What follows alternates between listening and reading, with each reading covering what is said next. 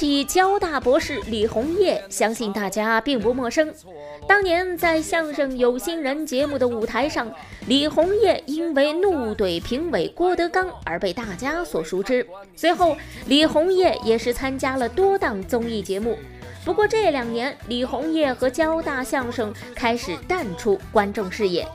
这两天，这位在早年间小有名气的李红叶转发了一条动态，动态的内容是他自己参加某知名自媒体的采访视频，视频长达十一分钟。在采访中，李红叶说道：“因为疫情的原因，别说去交大说相声了，他们连大门都不让进。”在交大表演了一个原创相声剧，之前上千人的场子都能坐满，现在不仅搬到了地下室，结果三百人的场子加上演员才一百多个。很多人会说，你很久没看到你在交大里的演出了，是因为新冠疫情嘛？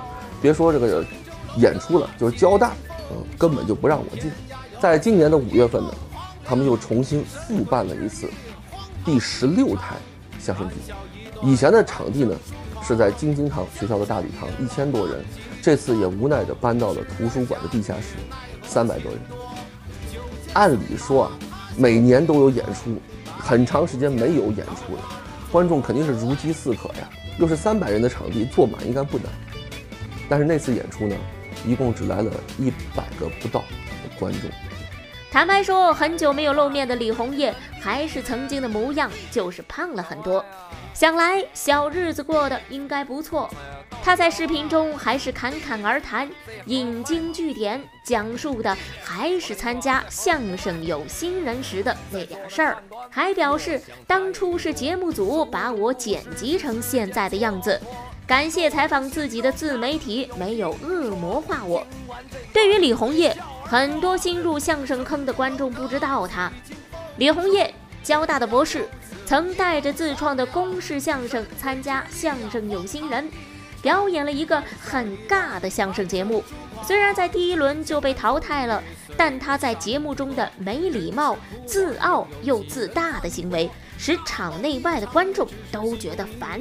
李红叶在节目播出之后，短暂的红了一段时间。伴随着当时的热度，也参加了很多的综艺，其中就有央视的首届中国相声小品大赛。但是随着热度的消逝，再加上他们表演的严格不是什么正经的相声，李红叶和公式相声就逐渐淡出了人们的视线中。他从头到尾讲述了疫情下的电影市场和他自己交大相声的现场。总之就是一句话。因为疫情的原因，交大的相声和电影市场一样，都是低迷的。俗话说，烂船还有三斤钉。对李红叶和公式相声痴迷的人还真有。在这位自媒体大号的采访视频发出去不久，这位铁粉就赶到了现场评论：“大李老师，别慌，只要你还在，只要交大象鞋招牌还在，一定会有更多的故事的。注意身体，你看又熬夜了呗。”随后，李红叶转发并评论了这位铁粉。其实李红叶和这位铁粉互动也不是一两次的，但凡有李红叶的消息，这位铁粉总是冲在第一位。外界对李红叶和公式相声充满质疑，但我们的这位创始人却充满了自信。他说：“我们新语相声迟早能熬过低谷，只不过过程不是一帆风顺的，也不是顺其自然的。”我们注定会东山再起，给大家带来更好的作品。看过了大曾老师等人的表演，我觉得我也是信心大增。我相信啊，不管是现在的交大相声剧、电影院的票房，还是 NBA 的勇士队，他们迟早还是能熬过低谷，重铸辉煌。